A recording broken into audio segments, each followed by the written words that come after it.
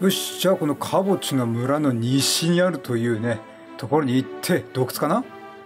その狼っぽい魔物をねやっつけに行きましょう。おメタルライター。おそおこれ初登場ですね。スライムナイト系の敵。メタルライダーという割にはメタル系っぽいけどメタル系ではない。なんと言ったらいいか、まあ、経験値がね膨大にもらえるタイプのメタル系ではないですね。ありがとうございます。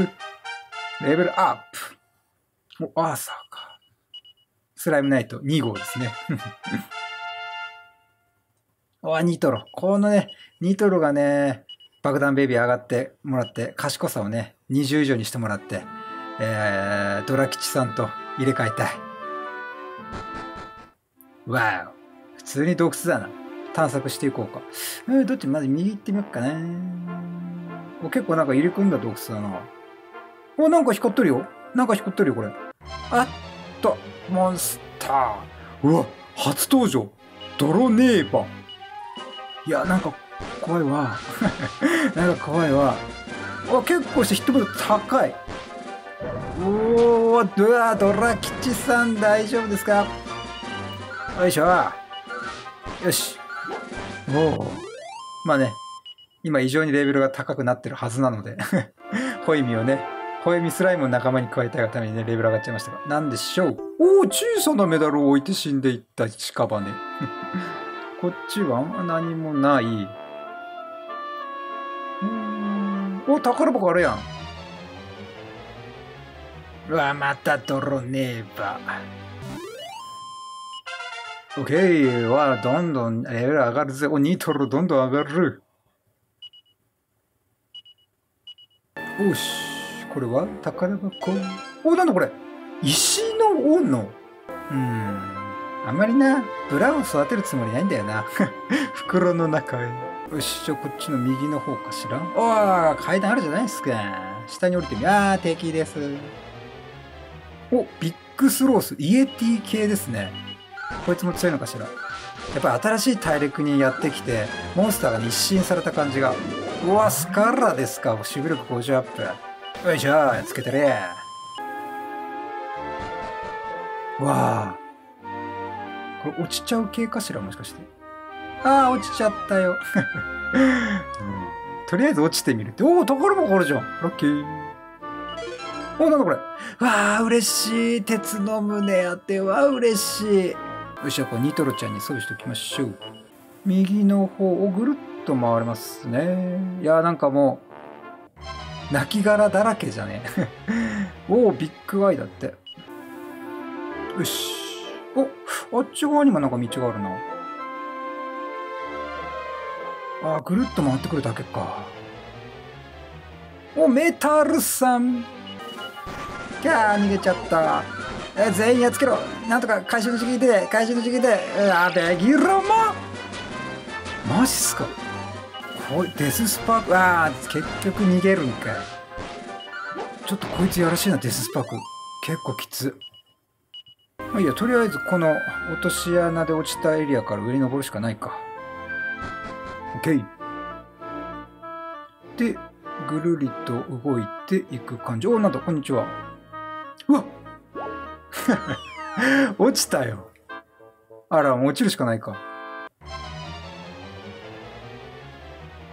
うわー、いっぱい出てきたなまずは、デススパーク狩りかね突撃兵だって。やだな。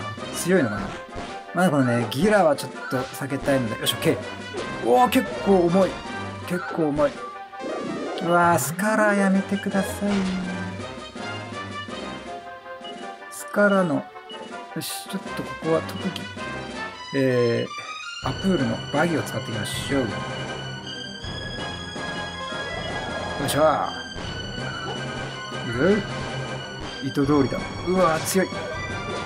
このアプールはね、まあ、攻撃力、守備力、ヒットポイント、身の守り、すべてめちゃくちゃいい上に、MP もアホほど高いんですよ。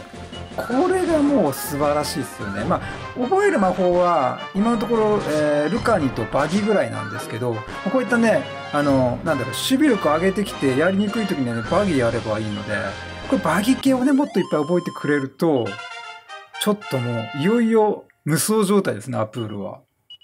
よしよし、上がってきた。ほら、見てください。力4とか上がりますからね。お、スラ、お、スラリン。スラリンの存在を忘れていた。お、ルカナ、いいじゃないですか。どんどん上がんな。ジャコジャコ上がんな。お、アーサーか。お、イオモンポイた。まだ上がる。まだ上がる。ニトロ。わあ、爆弾ベイビー。兵士が落ちてしまったからボールも落ちるか。しょうがない。何やってんだよ。うわ ビビりすぎだから。あんだ、脅かすなよ。この洞窟にはすごい虎の化け物が住んでるらしいぞ。私も気をつけるようにな。ああ、忠告ありがとうございます。あれ？ここどうしたらいいんだろう？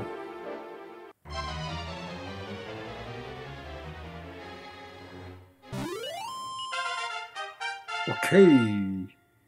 ドラ吉。お、ラナルータ、ありがてえ。ー、昼を夜に夜を昼にっていう魔法ですね。うん。イベントでね、結構それ切り替えたくなる時があるので、嬉しい。あれ手詰まった？あ、こっち側か、こっち側か。あそこに宝箱あるじゃないですか。あ、ここでスタート地点に戻ってきた感じですね。うわー、やだわえっとですね。今あの、アプールが死んでるんですけどね。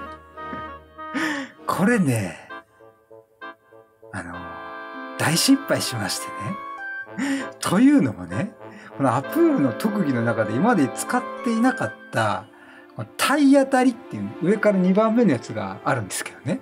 これどんなもんかなと思って体当たりってやってみたんですよ。したらね、死にました。なんか命と引き換えにやる攻撃なのかしら？よくわかんないんだけど。調べておきます。はい。うわプールが死んじゃった。やばいな。どうしよう、どうしよう。急にピンチ。これじゃあもうニトロにやってもらおうか。急ごしらえだけど、しょうがない。よし、頑張るか。ああ、最、ああ、しかも落ちてしまった。何やってんだよ。よし。でね、ニトロなんですがね、なんか装備できるアイテムを持ってなくて、今素手です。ニトロ。頑張ってくれよ。アップル張りの活躍を期待してるぜ。いやー、結構きついなやっちまったな完全にやっちまったな急にこのダンジョンの難易度上がる。あ、しかも、あまりダメージを与えられない。オッケー。ショーケー。まあね、今までそれだけ、えー、このチームはアプールに支えられてたってことですね。よし、こう。あっちの宝箱をちょっとゲットしに行こうかな。これかな。なんかいいの。うわ、人食い箱かい。まあ、人食い箱。まあ、宝箱に化けたモモンスターですね。キャー何やってんだニトロ、守備、守、る。うわ、ザキザッキは即死技です。クラウチ死にます。やめてくれ。おお、危ねえ。セーフ。何ですか？お、小さなメダル。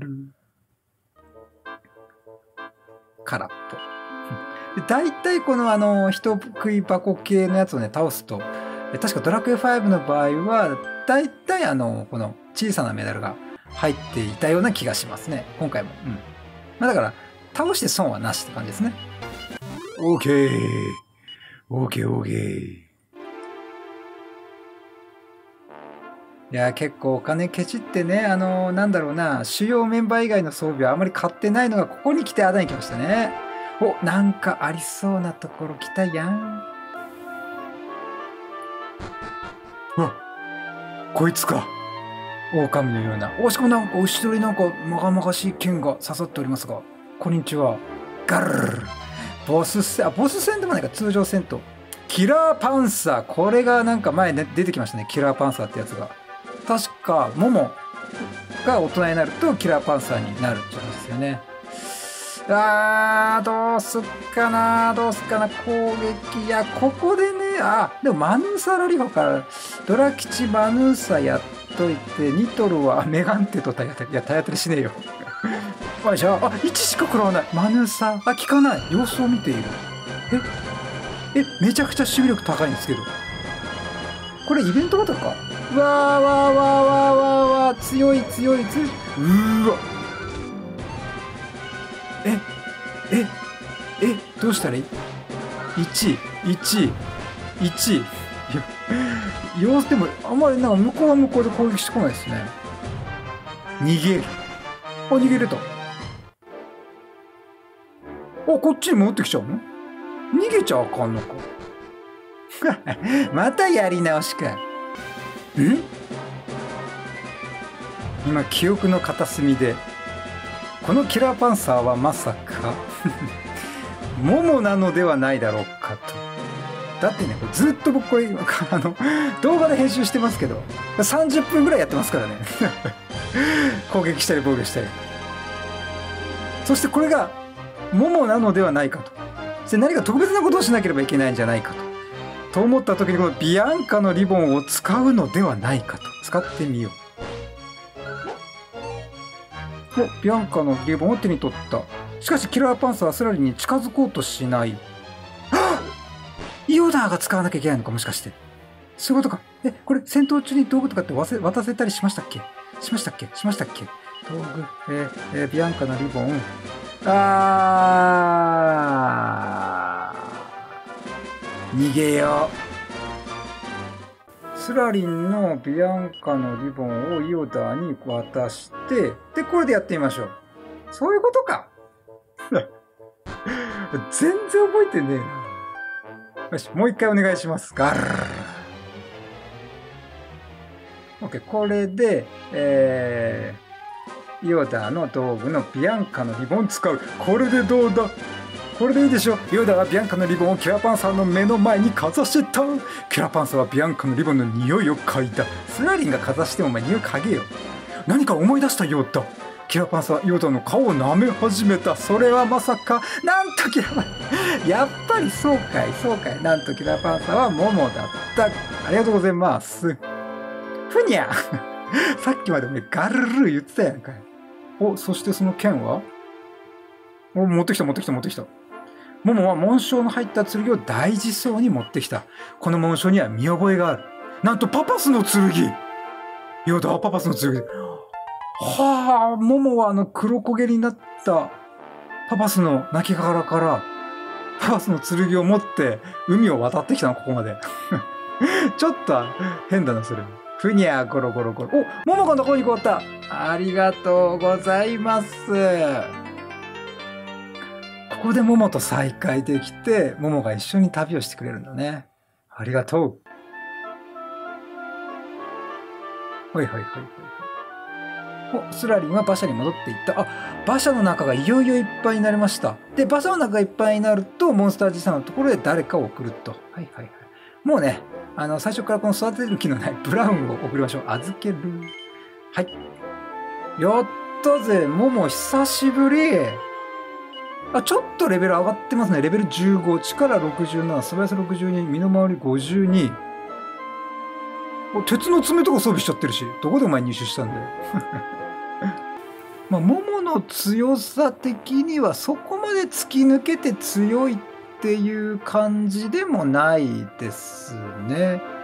まあ、守備がね、川の腰巻きオンリーなので、守備力はちょっといまいちだけど、まあ、攻撃力もね、まあ、アプールがね、今、あの、攻撃力110、えー、守備力114というね、鬼なんで、一人だけ、ちょっとチートになってますから。まあまあまあまあ、ちょっとな。まあ、ドラ吉と入れ替える感じですかね。うん。あ、やっと、やっと出れる。ここはもう、リレミットで、トンザラこけましょう。リレミット。よし。で、えー、キメラの翼で戻るか。はい。とりあえずね、あの、エビルアップルをね、復活させたい。あ、でもこれさ、退治したっていう発にはならないよね。すいません。仲間にしちゃったんですけど、どうでしょう。そうそうそう、そんバケモンは、冷え命だけは助け、まあそうなるわな。なんとあのバケモンを仲間にしてしまったのか。村人が驚くのも無理はないの？あれ？なんか、なかなか驚いてくんねえな。こんにちは。わあ、お兄ちゃん、あの化け物をペットにしたの？お兄ちゃんもしかしてモンスター使いなの？その通り私は魔物を、え、仲間にできるモンスター使いでございます。すごいや、すごい。子供には尊敬の念で見られる。おった曲げたあんた虎の化け物と白井だっていうことでないかい。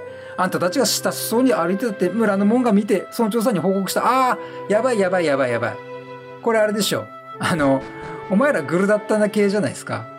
金は渡すから出ていけこの村からっていう話になるんじゃないですか。そそん化け物は冷え命だよ。一緒か。あ畑で仕事して。るわははこりゃまた傑作だべ。あんた化け物とグルだったとはやっぱりそうなるよね。そうなるよね。あんたもうまい商売を考えたもんずらよ。とにかく残りの礼金をもらったらとっとと村から出てけんろ。いやそうじゃないんです。そうじゃないんです。生き別れた相棒と出会ったんです。話は聞いただ。あんたバケモンとグルだったんだってな。あんたを信用した。オラがバカだってよ。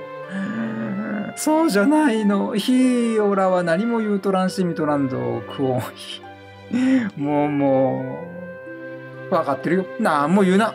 金はやるだ。約束かんな。またバケモンをけしけられても困るだし。まあそういうことか。もう弱すんだろ。とっと村を出てくんろ。冷て。そうじゃないんだよな。あんた随分とひどい人に思われたみたいだな。けど私には分かるだよ。あんたはそんな人じゃねえ。とにかくあんたのおかげでまたみんな畑仕事に精を出せるだ。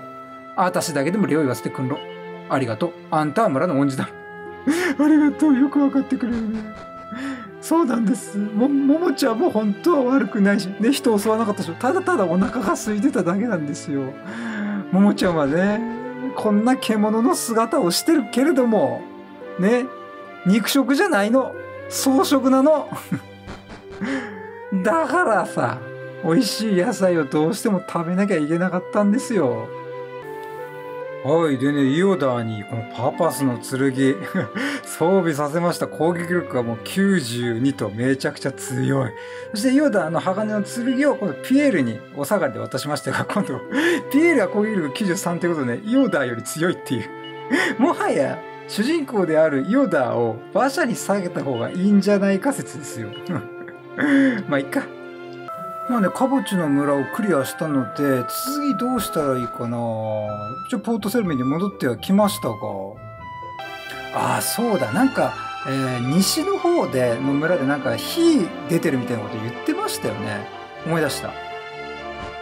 まあね、地図上、まあ、地図で見てもおそらく、うん、こんな感じ。今、南にね、進んだんですけど、西の方はかなり開けているので、あこの地図じゃよくわかんねえな。うんまあ、これ西の方に行ってみるしかないですね。画面上左方向にじゃあ行ってみましょう。今回からちょっとドラ吉からのモモに パーティーを変えてみました。ですがね、モモ、あの、すでにニトロの方がだいぶ強くて、賢さ、ニトロが、あの、20超えたら、あの、もう、モモから変えようと思ってます。カボチの村のね、おばあ様が山の方に行こうみたいなこと言ってました。おお村があるやんあ、夕暮れに来た。夕暮れもあるんですね。なんか大きい町。ここは？こんにちは。ようこそ、ルラフェン。あ、なんか言ってましたね。ルラフェンの町でなんか火が起きてるみたいなの言ってましたけど、なんか全然火事が起きてるような雰囲気はないですけどね。いろいろ歩いてみますか。宿屋さん。こんにちは。まったく何をしてるの？ザ・マッショ。ザ・ザ・マッショか。いや、でも満足に取れないって、登録されたらないザ・マス。この男に対して言ってるのか。ざます。すいません、その、あの、オラと奥様は、だから部屋はその、もごもご。何やってんだよ、ザマス。こんにちは。あ、宿屋はこっちで泊まる。高い、120ゴールド。カボチの村はね、確か24ゴールドで泊まれたんですけど。やっぱりこう、街が変わるとね、物価も変わりますね。こんにちは。原始人的な人。この町に呪文の研究をしている老人がいると聞いてやってきました。今失われている古代の呪文をいろいろと復活させるつもりと。えー、古代の呪文。なんかその人からその古代の呪文とやらを覚えさせてもらったりするイベントがありそうな雰囲気。やったぜ、小さなメダル。登ってみようか。宿屋の外に出て、あ、こういう感じですね。こういう仕組み。えぐるっと回して下を通れるような道はない。まあ、せっかく上登ってきたから、ちょっと下の方角にも行ってみますか。なかなかあの立体的な、あ、間違い。ここで行き止まりかい。立体的な作りの街ですね。歩いててなかなか面白い。ここんにちは、道具屋さん。何かいいもの売ってますか？うーん、いまいち。こっちの方角は？お、裏通れるやん。裏通れるやん。え？すごいすごいすごい。街の裏側ですね。こっち側。お、お、なんか、あっちに通れるとこがある。参った。道に迷ったようだ。この町はどうも道が複雑で困ったもんだよ。ここに訪れる旅人もみんなね、この道、この村のこれ途中で行き止まりとかあるからね。複雑な作りに迷って。あ、でもこれあれじゃないですか。この下のなんか、ここね、ここ下行けそうですけど、多分これはこっから降りて、こっち行けそうですね。おー、取れる取れる。ぐーいん。お、井戸。おー、珍しくなんかいるけど、にゃんこさん、こんにちは。にゃーん？はい。まったく、ベネットじいさんにも困ったもんだよにゃ。話しとる。じいさんのには気に入ってるのに、煙くていられないにゃ。でもあんたに愚痴を聞いてもらって少しすっきりしたにゃ。俺にいいこと教えるにゃ。この世界のあちこちには、この、その地域の名産品と言われるものがあるにゃ。いろいろ旅をすれば、きっと手に入る、手に入るにゃから。集まっておくと良いにゃ。名産品。ああ、このサンタローズの石とか、聖なる原石とか、なんかよくわかんなかったですけど、こういうのが名産品っていうやつなのかな、きっと。ねあ、左上に書いてますね。名産品。桜の一枝。これはあの、妖精の国で手に入れた名産品ってことか。まあ、コレクターアイテム的なもんなんでしょうね、きっとね、名産品は。なるほど。ぐるっと回って、このお家。あ、煙たいって言ってましたけど、確かに上からピンクの、ピンクの煙。うわお ま、魔女がなんかあの、ねるねるねるねの魔女よろしくぐるぐるやったら、なんかこう、器の中が紫色で煮えたぎっている系のやつですね。ベネット。これがベネットじいさん。なんじゃお前は？お前さんも煙たいとか文句言いに来たのかい？いや、違います。するとわしの研究を見学に来たわけじゃな。なかなか関心ないはず。もし研究が成功すれば、古い呪文が一つ復活することになるじゃろう。それは知っている場所であれば、瞬く間に移動できるという、大層便利な呪文なのじゃ。お、ルーラーじゃん。どうじゃ？この研究を手伝ってみたいと思わぬか？お、あの、お願いします。ぜひ。おお、やってくれんか。それではわしについてまいれ。おお、ついてまいれ。どこ連れてくんじゃ？どこ連れてくんじゃ？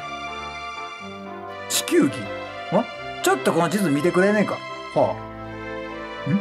今わしらがいるこの町はここじゃろ？ほう。今羽がついてるとこですね。はいはい。でな、この辺りにルラムーン草というのが生えているらしいのじゃ。あこの町から、えー、西の方角に行ったとこですね。はい。しとそれを取ってきてもらえんかの。ただし、ルラムーン草は夜しか取れんそうじゃ。夜になるとその花はぼんやりと光ると言われとる。どうじゃ？もう一遍言おうか。いや、わかりました。この町から西の方角に行って、夜にしか咲かないぼんやりと光るルラムン草を取って参れと。こもうお使いですね。よろしい。では、わしは寝てますことでしょ。寝るんかい。寝やがった。でもそのルラムン草というのを手に入れれば、えー、おそらく古代の呪文、ルーラを手に入れることができて、まあ結構楽になりますね。今だとあの、キメラの翼しかないんで、でキメラの翼ってあの、好きなところに行けるわけではなく、あの、最後に多分セーブしたところに戻るっていう感じなので、ちょっと不便なんですよね。お、薬草図鑑と書かれた本がある。よだ手に取ってみた。え薬草の種類や効き目など細かい説明が随入りで示されている。ルーラについての本はないのか。お、魔法の節制。ということで次の目的が はっきりしましたの。なんだか張り紙がある。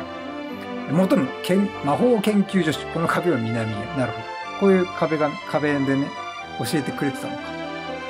さてさて、どこに行こうかしら。お、パブ的なものかな？こんにちは。酒場ですね。こんにちは。酒場はまだやってね見てたな。早く飲みたいぜ。もう完全になんか机になんか乗ってからもう飲んでんだろ、完全に。もうピアノがある。えー、古びてはいるが、とても立派なパイプオルガン。えー、お、すごい。あ、福引券だ。やったぜ。上登れんな、これ。おおお酒場の準備してるのかなさて、今夜の酒の仕組みはこんなもんかなおお。お、命の、あ、不思議な木の実か。えー、MP の最大値が上がるやつですね。すやすや。あ、これ踊り子だな、きっと。夜に向けて今うちに仮眠取ってやがる。えーベネットじいさんの家からはいつも煙が出ててね。いつか火事にならないかと心配で仕方ない。ああなるほど。そういうことか。ポートセレビでねルラフェンの方向で煙が出てってるっていうのはあの火事じゃなくてベネットじいさんの研究の、えー、煙なんですね。おすごろくけありがとうございます。うまいうまい。いや人間やっぱりうまいものを食べる時が一番幸せだよな。まあ後の人生はおまけみたい。食べるだけに生きてるのか。なんだこれ。えー、壺にはしっかりと蓋がくくりつけてられる、えー、しかし何とも言えない良い匂いが染みついてるようだ。壺をよく見ると古いラベルのものが貼ってある。酒人おま。何でしょうしかしラベルの文字は、えー、擦り切れていてよく読めない。えー、なんだろう。酒を作ってるのかな。熟成させるみたいなね。こんにちは。伝説といえばお前さんルラーフェンの地酒の伝説を知ってるか。地酒。さっきの壺のことかな。そうか。さすが。ああ聞かせてください聞かせてください。今から100年ほど前に生まれた名手人生のおまけ。さっきのやつか。は、えー、そのあまりのまずさに魔物さえも逃げ出したという。今じゃ下の坂でも出しとらんええか。その酒を手に入れるようなと決して思わんことじゃ。なるほど。おイブールの本と呼ばれる光の教団の経典がある。ヨーダを手に取ってみた。光の教団か。イブールって何？約束1教団の教えに背く者は光の国へたどり着けないだろう。約束に大教祖イブールを信じる者は神に愛されるだろう。ほう。イブールってのは教祖様なのか。えー、あとは同じような内容が繰り返しだった。イブール。闇がこの世界を蝕もうとしています。しかし恐れることはありません。その時はきっと伝説の勇者様が現れ、世界をお救いくださるでしょう。その勇者を探してるんだよ。よし、教会の外に出てきた。すごい煙。これはみんな嫌がるわい。まったくペナントじさん何を研究してるんだが、煙たくてしょうがない。ゴホンゴホン。おお、上で飲んでやがるな。ラインハットの後ろで大層豪華な結婚式があったらしいぞ。結婚式？何でも結婚なされたのは王様の兄上のヘンリー様と。ヘンリー結婚相手は？まあ、マリアでしょ。マリアのこと大好きだったからね、ヘンリー。お城の結婚式というのをこの目で見たかったわ。きっと絵に描いたような美しい花嫁さんだったんでしょうね。おもうルーラ覚えたら早速ライハートに戻ろうぜ。うとうと考えました。そっか。割と速攻で結婚決めたな、あいつ。勢いがすごいな。だって、ちょっと前に旅立ったばっかりだよ、ラインハットから。もう速攻告白して、マリアもマリアで OK すんだね。まんざらでもなかったのか。こんにちは。え、あんた旅人したかいどうだい？旅は楽しいかい？うん、厳しいことばかりです。辛い旅からするってと嫌でも旅をする理由があるんだな。まあ頑張るよ。よくわかる。察しがいいね。そう。私の旅の目的があるからこんな辛い旅をしてるんですよ。素早さんためおお、ここ階段があるね。こっちの方角は行き止まりでしょ、きっと。あ、違う。ぐるっと回って来れる感じか。はいはい、そういうことね。下に降りてみる。おお、武器屋さん。特典館、特典館といい防具ができそうだぞ。兄ちゃん、防具が欲しかったら夜店に来てくんな。ほう、夜防具。はあ、そういうことか。えー、多分これ武器と防具があるから、えー、昼間は武器屋さん。夜は防具屋さんになるんだ。えー、武器は、は、なんかめっちゃすごいの売ってんじゃん。ノコギリ刀、大木槌、鋼の剣、鋼の剣、スネークソード。こんなありましたっけ？あー、でもスネークソード、今パパスの剣を装備している主人公には必要ないですね。ノコギリ刀って。誰が装備できるんだろう。まあ、特にないかな。よし、こっち側回ってきてみました。何かありますか？何かありますか？ぐるっと回しても何もない。